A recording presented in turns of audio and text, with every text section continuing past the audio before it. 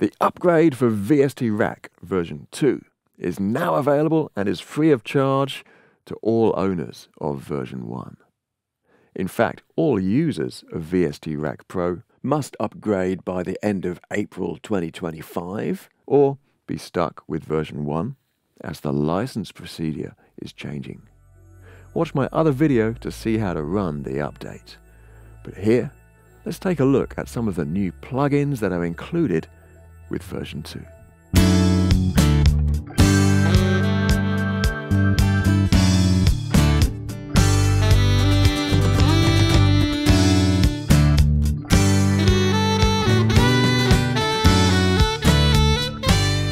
VST Rack Pro includes five new Steinberg plugins and a further three from Yamaha.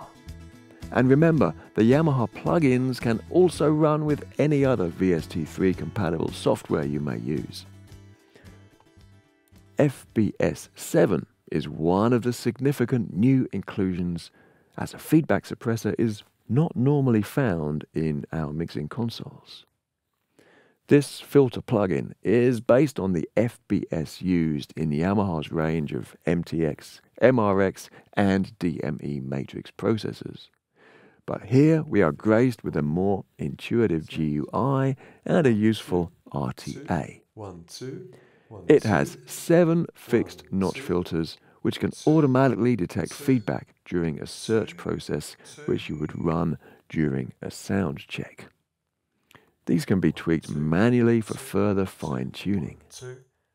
Then there are seven additional dynamic filters which can work automatically during a live event, eliminating feedback how before it becomes a problem.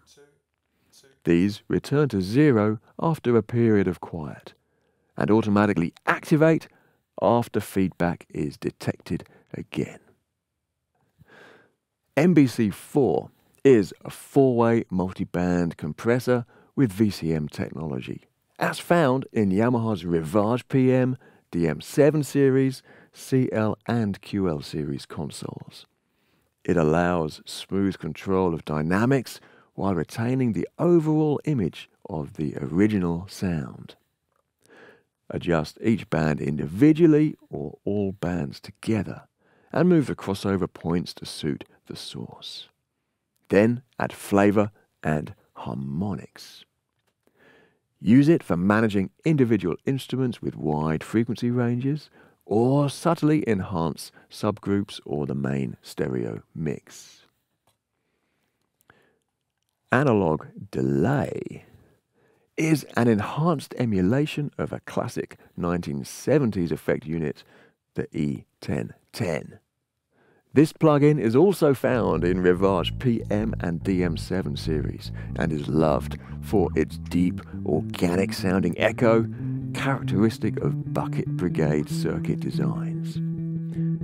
Add modulation for a thicker chorus sound and vary the clarity or warmth with the A to E type selection.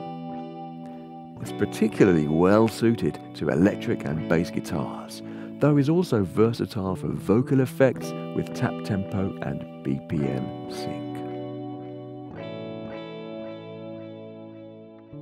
The additional Steinberg plugins in version 2 bring further versatility. Let's start in the distortion category where we find Magnetto 2. This isn't a heavy guitar style distortion, but a rather warm and subtle saturation and compression, typical of using vintage analog tape machines. Use dual mode to simulate the use of two tape machines for a deeper impact. Use the frequency range to determine where the tape effect is applied, for example in case you wish to maintain high frequency clarity and avoid low frequency muddiness. The stereo enhancer is another different one, for use only on stereo channels such as subgroups or the main mix, to increase the feeling of width and depth. Use the delay and color parameters to alter the difference between left and right signals further. it's a good idea to try some of the presets first to get an idea of its capability.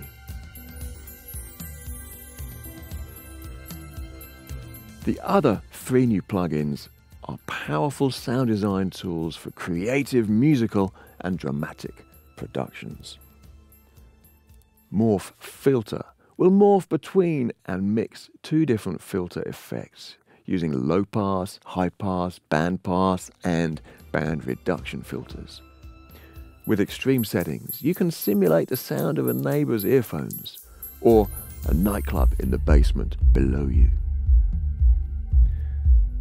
The FX Modulator is a multi-effect which combines several modulation types for extensive sound shaping. Add texture to synth pads or add intriguing patterns to sustained sounds. There's an almost infinite range of low frequency oscillator patterns that can be drawn and applied. The Voice Designer, found in the pitch shift category, is another fun one. This provides extreme pitch shifting and morphing effects and can add a unique voice to mystical or futuristic and fantasy characters. Before I complete my untimely metamorphosis, let me cover the new plugins included with VST Rack Elements version 2.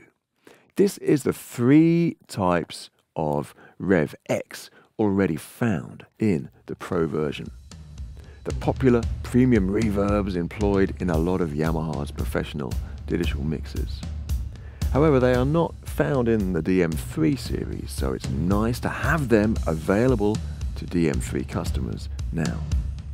The GUI is intuitive and educational to see how the parameters are going to affect the sound.